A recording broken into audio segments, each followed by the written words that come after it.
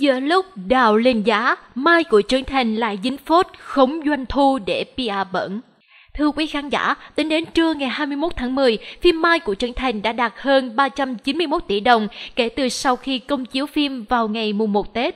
Với doanh thu ấn tượng nêu trên đã giúp Trấn Thành nhận được danh hiệu đạo diễn nghìn tỷ đầu tiên ở Việt Nam, được PR trầm rộ trên các mặt báo. Tuy nhiên, số liệu nêu trên khiến nhiều khán giả kỹ tính và đặc biệt là giỏi toán học không thuyết phục. Vừa qua, một người dùng mạng xã hội đã có bài phân tích về doanh thu của Trấn Thành. Từ số liệu phân tích và mật độ dân cư ở các thành phố lớn, các khảo sát thực tế, thì vị này cho rằng doanh thu này là những con số ảo ma Canada. Nếu trung tâm chiếu phim quốc gia bị vu là đến sập web PR bẩn cho phim lịch sử, đào phở và piano, thì cũng sẽ có lời tố Mai đã được Trấn Thành PR bẩn dựa vào doanh thu ảo. Cụ thể vị này đã phân tích. Sáng đọc báo thấy bảo doanh thu phim Mai của Trấn Thành đạt 367 tỷ đồng. Nếu tính trung bình 100.000 một vé, tức là đã có 3,67 triệu người đã đi xem phim này. Theo báo cáo mới nhất của Tổng cục Thống kê, dân số của Việt Nam là 100,3 triệu người, trong đó dân số thành thị chiếm 38,1%, tức 38,2 triệu người. Cũng theo báo cáo, nhóm dân số trong độ tuổi từ 15 đến 59 tuổi chiếm 62,2%, tức sẽ có khoảng 23,7 triệu người từ 15 đến 59 tuổi ở thành thị.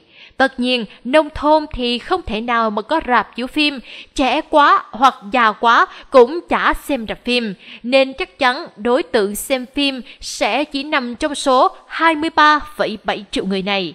Ai hay đi xem phim ở rạp thì sẽ rõ, người đi xem chủ yếu là người trẻ, sinh viên, nên tạm tính đối tượng xem phim Mai sẽ là người ở thành thị từ 18 đến 40 tuổi, và phim Mai cũng đóng nhãn là 18 cộng.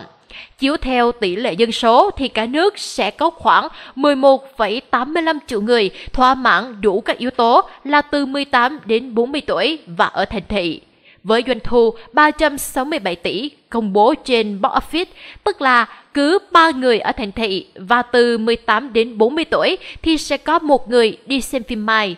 Hồi xưa học về xác suất thống kê, tức là hỏi ngẫu nhiên 3 người thì sẽ có một người đi xem Mai.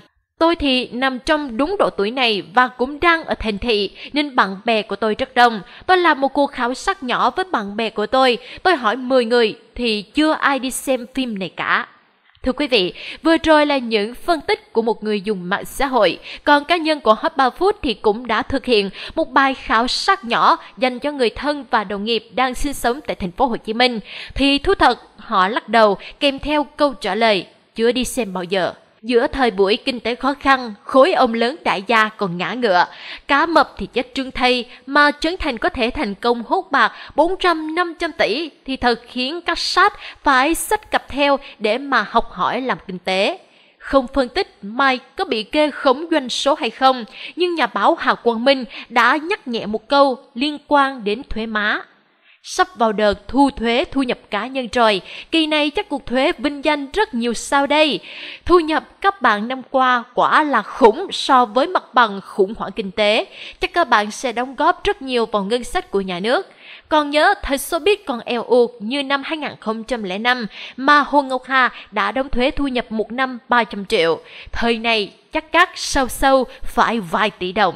Như vậy thì thổi phồng doanh số càng nhiều thì đồng nghĩa với việc trưởng Thành cũng phải đóng thuế càng nhiều. Vấn đề là nếu xác suất vị khán giả kia tính ra là đúng, lời đồn đoán của cộng đồng mạng là đúng, thì MC số 1 Việt Nam đã chấp nhận đóng thuế con số khủng dù số tiền thu về là ảo. Vậy mục đích của đạo diễn nghìn tỷ là gì? Chẳng lẽ đơn giản chỉ là vì danh tiếng? Cũng nhận về lời suy đoán tiêu cực là cố tình đánh sập website để PR cho đào phở và piano. Ông Vũ Đức Tùng, quyền giám đốc trung tâm chiếu phim quốc gia đã thẳng thắn trả lời minh bạch trước công chúng.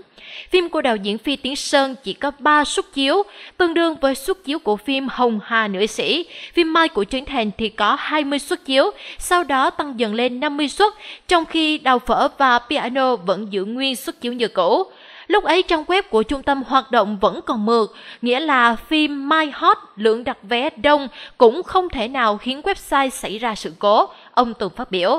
Đến khi Đến khi đào phở piano viral ở trên mạng xã hội, đào phở và piano cũng trở thành một trong những từ khóa được tìm kiếm nhiều nhất bên cạnh phim Mai ở trên website.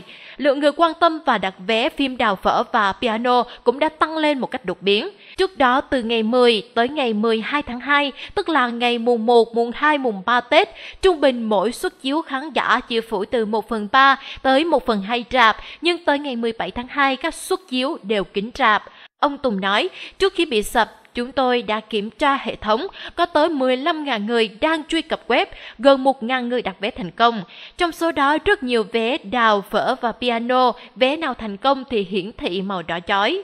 Giờ hỏi căn cứ vào số liệu nào để nói phim đào phở và piano, chứ không phải phim may khiến web bị sập là rất khó trả lời và cũng phải chờ web khôi phục lại thì mới có câu trả lời chi tiết được. Chỉ biết ở thời điểm đào phở và piano hot lên, lượng người truy cập tăng, trang web quá tải và bị sập. Trước đó không có tình trạng này, ông Vũ Đức Tùng chia sẻ. Còn cho rằng trung tâm cố tình lợi dụng vụ sập web để PR cho phim đào phở và piano thì oan cho trung tâm của chúng tôi quá, ông Tùng nói thêm. Không ai mong muốn trang web bán vé của mình bị sập cả. Web sập, khách gặp khó khăn trong việc đặt vé, ảnh hưởng mạnh tới doanh thu của chúng tôi. Chúng tôi không được lợi gì trong việc này, đại diện của đơn vị này nói. Ông Tùng cũng thông tin thêm, vì sập web mà số lượng bán vé ra của phim Mai tại đây cũng bị giảm đến 40% so với thời điểm trước khi sập. Không chỉ có ông Tùng, mà cộng đồng mạng cũng đã có những lời lẽ binh vực dành cho tác phẩm nghệ thuật về đề tài lịch sử. Dư luận cho rằng nếu đào phở và piano mà có sử dụng chiêu trò là làm sập web để mà PR cho phim, thì thật ra tôi mong muốn họ làm chiêu trò này lắm.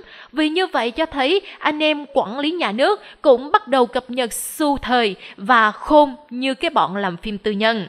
Phim nhà nước làm không chỉ để giải trí, nó còn ở cái tầm khác, không phải hoành tráng, không phải cần quá nhiều tiền. Nhưng cái quan trọng là xem động lại rất nhiều thứ, cứ như kiểu mấy cái hài xàm xàm, ờ thì lúc xem có vui, rồi cố tình thêm chút bi vào, nhưng nó lại không tới.